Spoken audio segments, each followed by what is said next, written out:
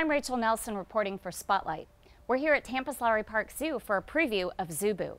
When the darkness descends, watch out for werewolves in the newest alarming attraction, known as London Frightmare.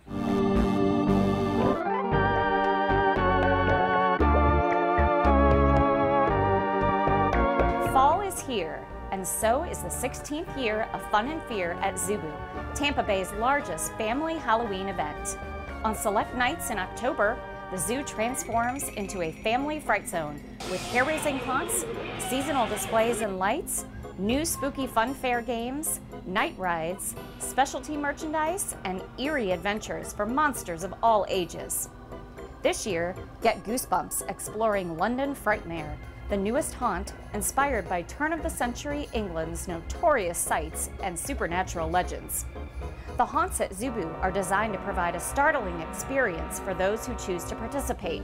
Extensive decorations, animatronics, lights, sound effects, and costume characters inside haunts scare up a good time.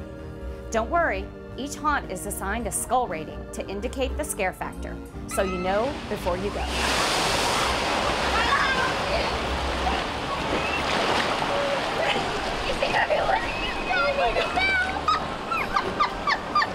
Oh, Even the youngest boys and ghouls can enjoy Little Beastie's Bungalow, a dazzling display.